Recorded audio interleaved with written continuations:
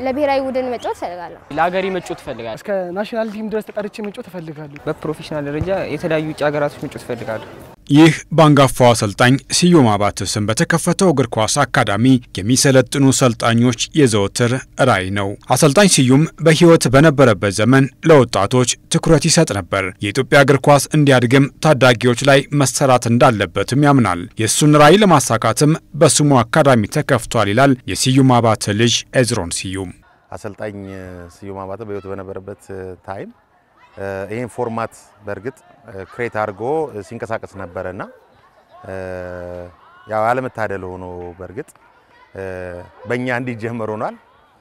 ቢኖርና ያለውን ነገር ቢያይ ደስ ይለኝ ነበረ። አንዱ ፍላጎቱ grassroot ላይ ልጆች ላይ መስራት ስለነበረ ምክንያቱም ያው እንደሚታወቀው ወጣቶች ላይ ከታች የሚመጡ ታዳጊዎች ላይ ነው more ትኩረት የሚያደርገው በክለብም በነበረበት ስራ more ደግሞ ቢኖር የተሻለ ለአገር የሚጠቅም ራሱንም ደግሞ በአንፆ የሚወጣ ስፖርተኛ ታዳጊ ይፈጠራል ብዬ አስባለሁ። በቀድሞው የኢትዮጵያ ብሔራዊ ቡድን ኢትዮጵያ ቡናና ኢትዮጵያ መድን አሰልጣኝ ስዩም አባተ የተሰየመው አካዳሚ በተለያዩ እርከኖች ተተኪዎችን ለማፍራት እየሰራ ነው። እኛ ከአምስት ዓመት ጀምሮ በዚህ አካዳሚ ልጆች እንቀበላለን። ስምንት ዓመት በታች ከ10 ዓመት በታች ከ13 ዓመት እና ከ15 ከ17 እያለን ይሄድ ነው። በአካዳሚው እየተሰጠ ያለው ስልጠና ለነገ ተስፋቸው እንደሚያግዝም ነው ሰልጣኞች የሚናገሩት። ስልጠናው አሪፍ ነው። ሁሉንም ነገር ባማከለ መልኩ ነው የሚሰጠው። በአብዛኛውን አይምሮ ላይ ይሰራሉ። በስነ ምግባር አኳያ በጣም serious ናቸው፣ ይቆጣጠራሉ። በሳምንት ሶስት ቀን ብንሰራ ከሳምንት ሶስቱን ቀን ቢያንስ አንዱን fitness ያሰራናል። ዘጠና ደቂቃ እንዴት እንዴት መቋቋም እንዳለብን ለትንፋሽ አሪፍ አድርጎ እያሰራ አንዳንዴ skill ኦችን አንዳንዴ ታክቲኮችን እያሰራ የሚሰጠው ስልጠና እግር ኳስ ላይ ብቻ ሳይሆን አካዳሚ እውቀትንም ያማከለ መሆኑን የአካዳሚው አሰልጣኞች ይናገራሉ። በ grass root ነው የሚሰራው። ከ under ten እስከ fifteen የምንሰጠው technical ነገር ጥሩ training ነው የሚሰጠው። ትምህርታቸውን በተመለከተ አብሮ ያያይዛል። ትምህርቱን እዛው ትሬኒንግ ወይም ደግሞ ኳሱን እዚህ ጋር የሚባል ነገር የለም። seriously የደረጃ ተማሪዎች በብዛት በርከት ያሉ አሉ። ተተኪ የሚሆኑ ሰልጣኞችን እያፈራ የሚገኘው ይህ አካዳሚ ሳይንሳዊ ዘዴን ተከትሎ እየሰራ ቢገኝም የሜዳ ችግር የራስ ምታት ሆኖባቸዋል። ሜዳው አስቸጋሪ ነው። ኳስ ምናምን ያነጠናል። ድሪብልም ለማድረግ ምንም አይመችም።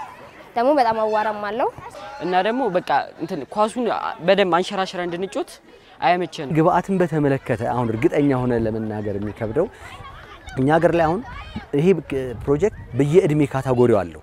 ከእድሜው ሌላ ደግሞ ኤቢ ኤቢ ያለ እንደ አቅማቸው ያጫውቷቸዋል፣ ስልጠናዎችን ይሰጧቸዋል። አሁን በዚህ እድሜ ላይ በተለይ አሁን የኔ ልጅ በተመለከተ የሚጠበቁ ነገሮች ኳስ control ማድረግ፣ pass ማድረግ፣ dribble ማድረግ እንደየእድሜያቸው ግን ሜዳውን እንደምታየው አሁን እዚህ ጋር ጉቶ ያለው ነው። ኳስ ሲመጣላቸው እንኳን በአግባቡ control ለማድረግ ይቸገራሉ።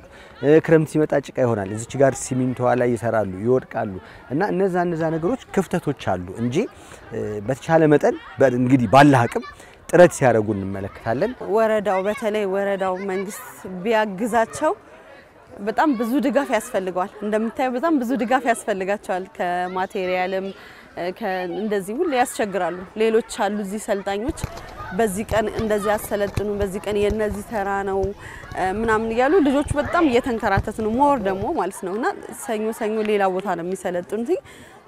እዚህ ሆነው ሜዳው ትልቅ ነው እና ሰዓት ሰጥተዋቸው እዚህ ቢያበረታቱልን በጣም ደስ ይለናል። አንጋፋው አሰልጣኝ ለሀገር ያበረከተው አስተዋጽኦ ከፍተኛ በመሆኑ የስዩም ወዳጆች ትልቅ ራዕይ ይዘው ለተነሳው እግር ኳስ አካዳሚ ድጋፍ እንዲያደርጉለትም ተጠይቋል። እነዚህ ልጆች መገንባት ማለት ክለቦችን ማጠንከር ነው። እነዚህን ልጆች ማጠንከር ማለት ብሔራዊ ቡድኑን ማጠንከር ማለት ነው እና ትኩረት ሊሰጡ የሚገባቸው እነዚህ ሁሉ አካላት ድጋፍ ሊሰጡ ይገባል የሚል እምነት ነው ያለው። ስዩምን የማያውቅ መቼም የለም በዘመኑ ጋሽ ስዩም ብዙ ስራ ሰርቷል ለዚች ሀገር እና አሁን የእሱን ስም ለማቆየት በሚደረጉ ስራዎች ላይ እኔ ህዝብ ራሱ ቢሳተፍ ደስ ይለኛል። ስፖርት ወዳድ እግር ኳስን ወዳድ ነው የኢትዮጵያ ህዝብ። በተለይ ደግሞ የስዩም አባተ ወዳጆች በሱ ስር ያደጉ በሱ የወጡ ብዙ ሰልጣኞች፣ ስፖርተኞች፣ ኳስ ተጫዋቾች ጥሩ ደረጃ የደረሱ አሉ። እንግዲህ door to door ማግኘት አልችልም እነሱን፣ እነሱ ግን እኛ ማግኘት ይችላሉ።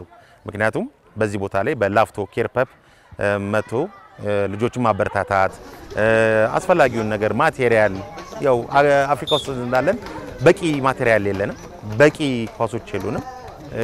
ከእጅ ወደ አፍ እንደሚባለው እንደዛ እያደረግን እየሰራን ያለ ነው እና እንግዲህ አሁን ላላችሁበት ለማለት ሞክር ልክ እንደ ዋጋ ሳይሆን አሁን ላላችሁበት የወጡትን የስዩም ወዳጆች፣ ሌሎችም ተቋማቶች፣ የመንግስት አካላቶች፣ ፌዴሬሽን support ቢያደርገን support ቢያደርጉ በሚያስፈልገን ነገር ላለው